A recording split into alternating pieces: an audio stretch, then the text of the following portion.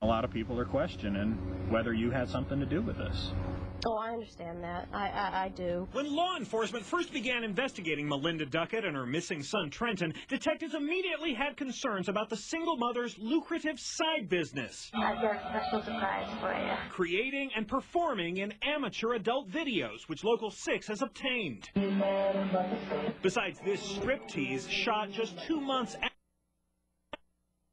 a photograph of Melinda straddling a child's crib. And in another explicit video, a noise can be heard in the background which sounds like a baby crying. Doesn't really show very good moral character in my eyes. As part of their missing child investigation, Authorities tell Local 6 they thoroughly looked into Melinda's involvement in the adult entertainment industry to see if the 21 year old had made any enemies or possibly had given son away to someone she met while making the movies. But Leesburg Police and the Florida Department of Law Enforcement say they found absolutely and Trenton's disappearance. If she is, uh, you know, conducting this activity and Trenton's within the home, that would raise questions as to who else was available in the home. Private investigator P.A. Turner works on behalf of Team Trenton, which was set up by the missing boy's father.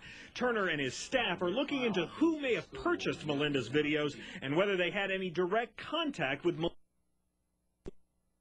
Position to place yourself into the position of selling adult entertainment as an individual where it can be traced back to you. This private eye is trying to find out if Melinda ever sold the videos herself out of her apartment.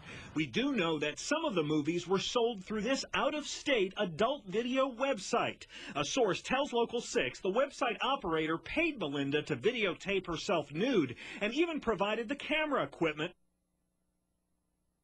roughly two years. Although detectives have ruled out any connection between the website and Trenton's disappearance, authorities acknowledge they never once interviewed the website operator, saying, quote, we didn't need to. If there are other parties involved in the video, then naturally those are individuals that have somewhat of a uh, lack of a better term, an intimate relationship with Melinda. We don't know who these people are. We don't know what their background is. Following Melinda Duckett's suicide, investigators seized her video camera and her computer, but so far authorities are not saying what they found. Now, just to ease any concerns, police do not believe Melinda used Trenton in any